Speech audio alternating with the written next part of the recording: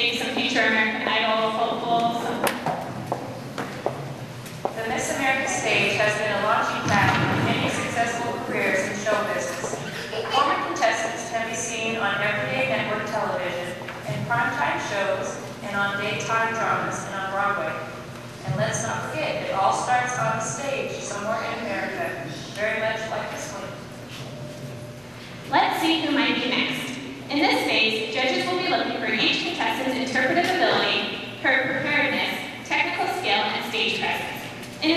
judges take into account the totality of all elements, including costume, props, voice, use of body, and choreography. Let's begin.